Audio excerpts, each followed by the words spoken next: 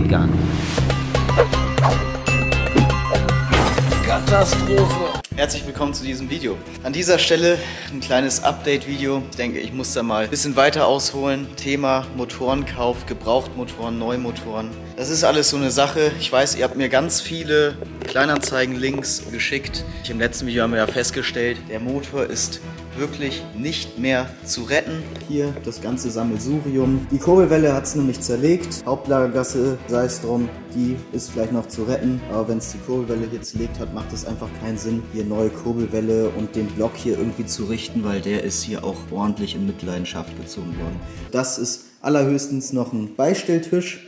heißt für mich, äh, ja, neuer Motor. Gibt es natürlich diverse Kleinanzeigen, Links und Anzeigen und weiß ich nicht was. Da einen seriösen Verkäufer zu finden, ist leider etwas schwierig. Gerade die gewerblichen, also ich habe da auch schon mit einigen Kontakt aufgenommen. Und ja, Entweder hatten sie genau den Motor nicht auf Lager oder haben gesagt, vom E63 passt er da nicht rein. Also sie waren nicht gewillt, ein Geschäft mit mir abzuschließen. Und Preise kann ich euch ja auch mal so sagen. Also es fängt bei, ich sag mal, 5000 Euro an. Das ist aber schon Discounterpreis. Das sind dann irgendwelche ja, gewerblichen Anbieter, die zig Motoren liegen haben wo man natürlich auch eine Gewährleistung kriegt. Das darf man natürlich nicht außer Acht lassen. Das ist natürlich auch alles schön und gut, aber es war für mich einfach nicht der passende Motor drin. Und dann kam mein Vater um die Ecke und hat mir einen Link geschickt von, jetzt kommt's auch, ich, wenn ich schon wieder so anfange, ne?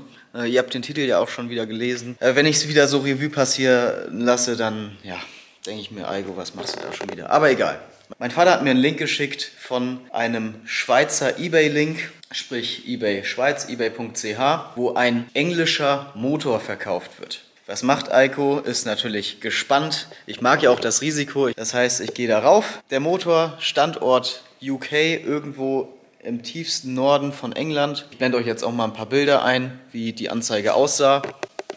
Es war eine Auktion ohne Mindestpreis, also der hätte auch für, für 1 Euro einfach weggehen können. Und ich habe da natürlich fleißig mitgeboten. Mir war natürlich ganz bewusst, dass durch den Brexit und so, dass, die, dass Großbritannien halt nicht mehr in der EU ist, kommen Zoll und Steuern auf mich zu. Das war mir natürlich bewusst, das habe ich in meine Kalkulation mit einfließen lassen. Nur das Angebot war halt dementsprechend gut, weil der Motor laut Anbieter wenig gelaufen hatte, weil der Motor auch noch von einem Facelift war, von einem Modellpflegeauto 2013 und weil das Getriebe dabei war. Denn das Getriebe da hinten, was übrigens auch von der C-Klasse ist und nicht vom 221, wie ich dachte, weil die Getriebewanne vom 221 ist, also von der S-Klasse.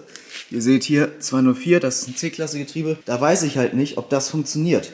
Und dann dachte ich mir, zwei Fliegen mit einer Klappe, komm, Eiko schlag zu, kaufst du das. So, sprich Motor plus Getriebe, Komplettpaket, Modellpflege, schon mit den Plastikwentildeckeln, neue Kopfschrauben, also die geupdateten. Ja, so, habe ich fleißig mitgeboten, mitgeboten. Ich zeige euch jetzt auch einmal eine kleine Screenshot-Aufnahme. Mein Höchstgebot war zu dem Zeitpunkt 4000 Pfund, sprich 5000 und ein paar zerquetschte Euro. Das war halt auch das Maximalgebot. Das heißt, es hätte einfach nur jemand 4001 Pfund bieten müssen und er hätte den Motor. Und dann dachte ich, ich muss den Motor haben, ich muss, ich war da auch richtig im Kaufrausch, im Bieterrausch. Wollte ich die ganze Zeit auf 5500 Euro oder so erhöhen oder 5500 Pfund. Das hat einfach nicht funktioniert, irgendwie, weil da stand, der Käufer akzeptiert, äh, der Verkäufer akzeptiert das Gebot nicht oder so. Falls ihr damit irgendwelche Erfahrungen habt, schreibt das gerne mal unten rein. Auf jeden Fall habe ich das immer weiter versucht und zum Glück, ja, war das Höchstgebot bei 4000 Pfund. Dadurch habe ich dann die Auktion gewonnen.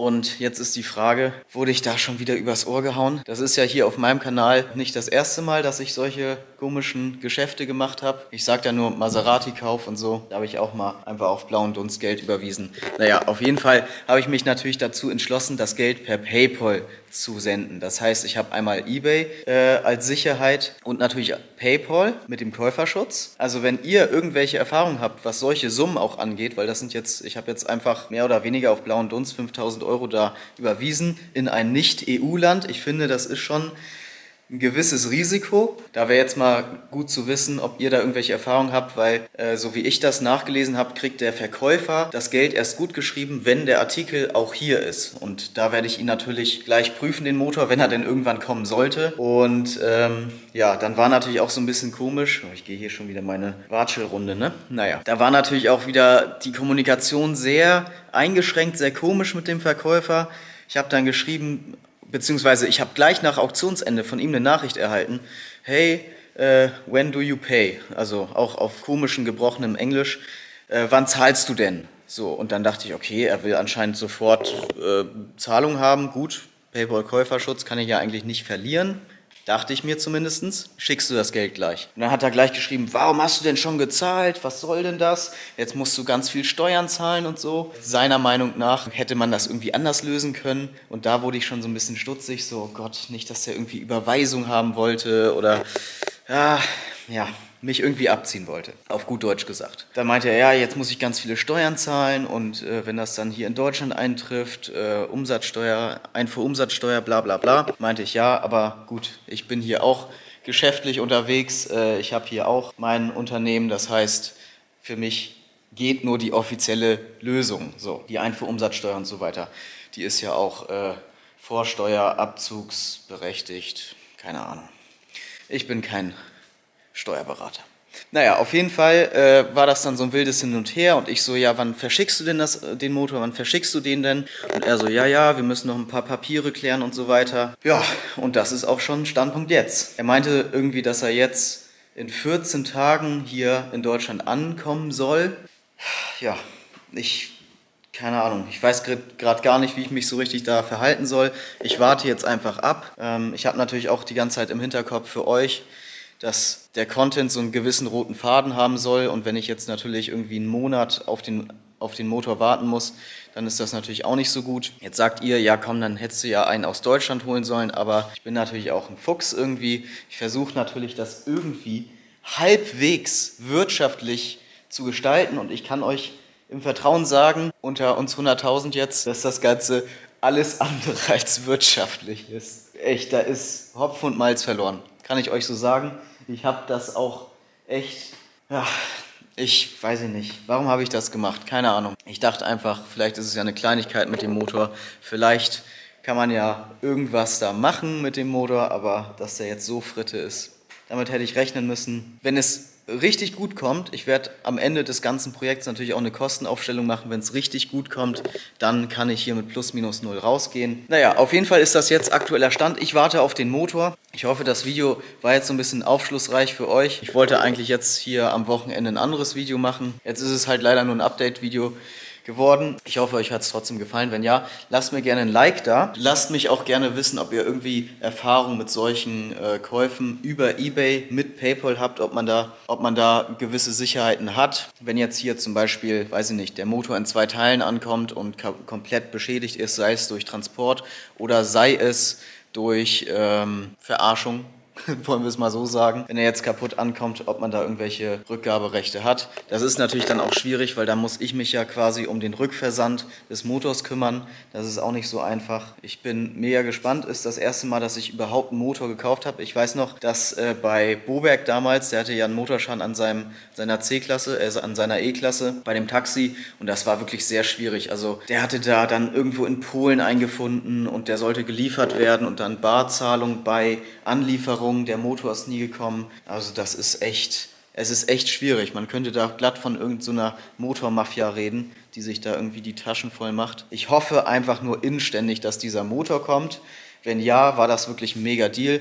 Ihr habt ja den Preis gesehen. Das wären jetzt 5000 und ein paar zerquetschte Euro inklusive Versand. Plus Einfuhrumsatz plus Zoll sind das summa summarum, sagen wir mal, 7000 Euro. Je nachdem, was er jetzt da für eine Rechnung beigelegt hat, wie viel Steuern ich da am Ende zahlen muss, das bleibt natürlich noch aus. Aber für 7000 Euro ein 2013er C63 Motor, der läuft, vorausgesetzt, plus ein MCT-Getriebe. Ja, das ist ja der nächste Punkt, den hatte ich ganz vergessen. Da ist ein MCT-Getriebe, weil es ja ein Modellpflegemodell ist, ein MCT-Getriebe. Das ist noch das alte 7G-Tronic, ähm, sprich mit Wandler und das MCT-Getriebe hat hier einfach eine Nass-Anfahrkupplung anstatt des Wandlers. Da auch gerne mal, das ist wirklich äh, sehr wichtig, falls jemand damit irgendwie Erfahrung hatte, ein MCT-Getriebe in einen Vor-Facelift reinzusetzen, ob das so Plug-and-Play funktioniert, ob man da irgendwas codieren muss oder ob das vielleicht gar nicht geht, werde ich dann sehen. Aber scheut euch nicht, schreibt das gerne mal rein. Generell kommentiert gerne mal. Ich finde, das macht ja eine Community aus. Kommt ja auch von Commu Kommunikation. Ne? Ja, da bin ich mal gespannt, ob das Plug-and-Play passt mit dem Getriebe. Ja, es ist echt, also ihr merkt es vielleicht auch, es ist so ein Stimmungshoch und Tief.